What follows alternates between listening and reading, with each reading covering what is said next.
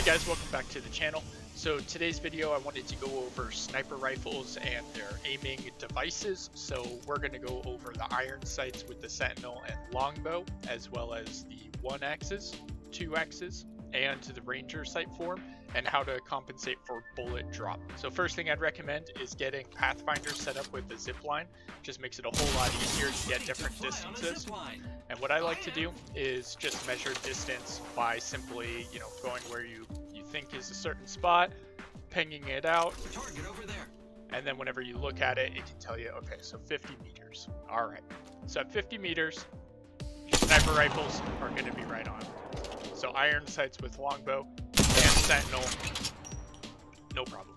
All right, so out here at 100 meters, which is Enemy just spotted. about where the stairs are in the firing range. Back up just a little bit, there we go. So at 100, you want to aim just above their head. You can barely see it, um, but that's a little bit too high. You want to be just a little bit lower than that and that's going to land your headshots. Obviously, if you just aim for headshot, you're probably, you got a chance of getting it, um, but it does have just a slight bit of drop. Sentinel. Alright, now let's go ahead and take a look at our 1x optics.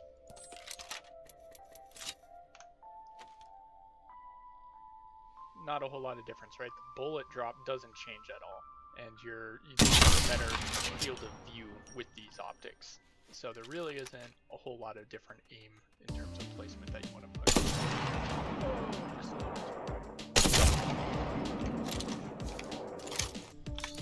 So now looking at our 2x's, now we're actually be able to see our target a little bit better. So zooming in on that, again, like you can see like that's its head. As soon as that health bar pops up, you know that you've touched the dummy. And so really, like as soon as that does that towards the head, I wish I grabbed a sniper stock because I'm actually pulling down right now, but it's just moving around. So as soon as it touches that, that's where you want to blast that round. 2x, same thing. So at 100 yards, just putting the tip of that arrow that's right in the middle there, right on the head. Ooh, see, look at that. I didn't quite do it high enough. And that was like, so that red spot is in the middle of the face. So if I had to guess, I'd probably hit that guy's neck. So we want to go up just a little bit more. Alright guys, apologize about the cut there. I forgot that I did not do the 3x at this distance. So, just to make sure I'm at 100 yards. There we go. Okay, 3x. So as we talked about, we're just putting the reticle on the dummy's head, maybe just a little bit above. Remember the red part is actually their face, and so you might not get a headshot if you're always aiming at the red parts. Just right about there. Nice solid hit, right? Not a whole lot to it, just right at the tippy top of their head, and we're good. All right, and just so there's no, you know, second guessing or anything, if you hit the very center of these targets, you'll hit like a headshot, that 140. So if we use these targets as we're, we're gonna have to to get further ranges, um, that's just to let you know that, yes, it's, it's not a The diamond ones on the side don't count. It's only if you hit the very center there in the middle. So with that being understood, let's head back up there for 200 yards. This spot um, seems to be the best and the easiest to get to. It's right on top of this post, which is like that post, except in this corner. And then the target you want to be aiming for is that guy over there. Puts you 192 meters, which is pretty close. Um, it's hard to get 200 exactly, but all intents and purposes, this should give you a good idea. Now, especially once we're out at this range, like you notice how steady my gun is. That's because I'm using the purple stock and purple stabilizer. I highly recommend starting with those if you're trying to do this, and then down, working your way down because um, it, you'll see if you take those off, it's just wobbling, and then you're not building confidence, right? More practical, and you should practice that, but for gaining confidence and like, yep, I know where my guns are shooting, this is how I'd recommend it.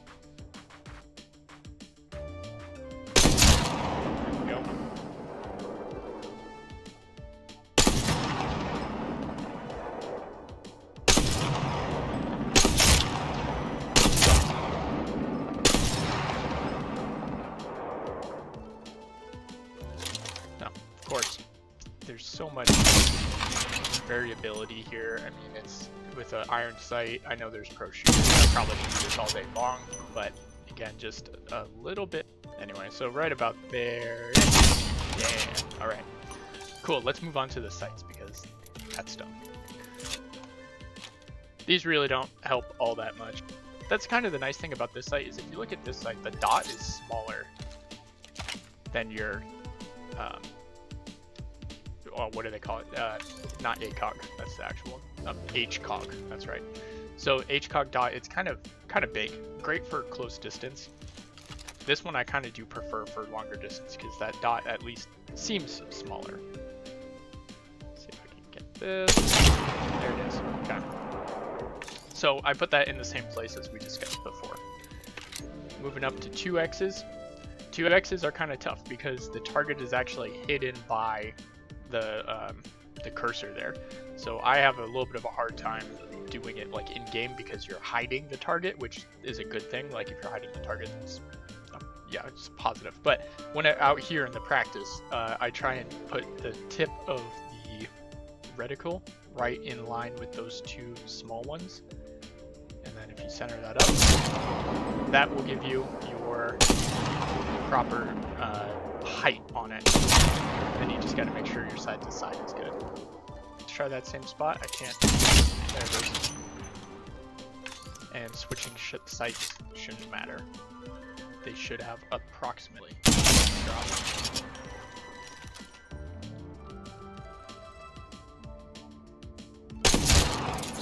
And the reason that they should approximately have the same drop is it's the same ammo. Going to the 3x here. Right? It's not changing the aim at all, it's just easier to see.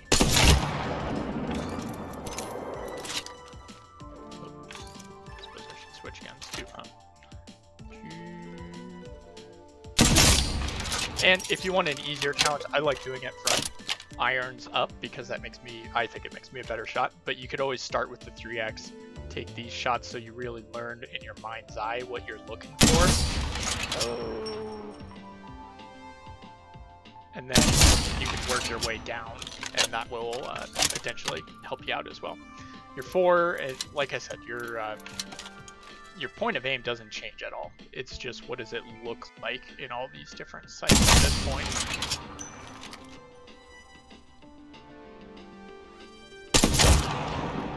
So, thinking, you know, if you look at how much of a distance there is between the middle dot of your cursor and that two. So to give you some perspective on what that looks like, right? So pretty much the distance between the center cursor and the two is about the height of a head. And so if you're between one and two, theoretically, you should be able to make that shot just putting it there. That's only 116, 112, so I would much more just go dead on at like 112.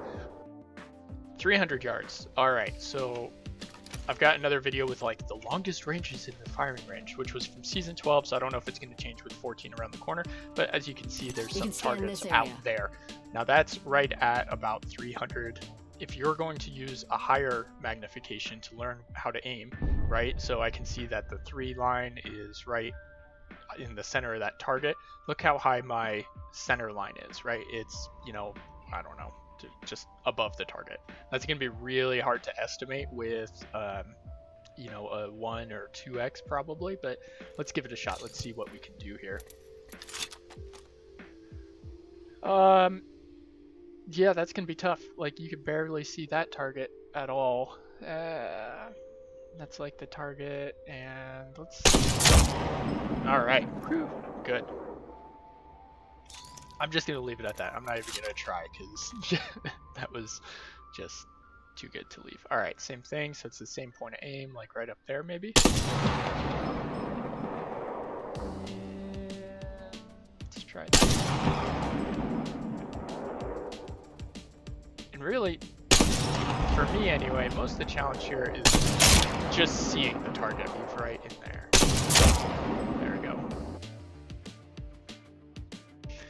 Um, really hard to tell on these targets because that stupid little fog is coming in. Arca 380 yards because the firing range can't do anything evenly, which is fine because you won't have them exactly at 400 yards in game either. So over in this corner, looking over here, again using one of these sniper rifles or sniper scopes to be able to kind of cheat on this first one.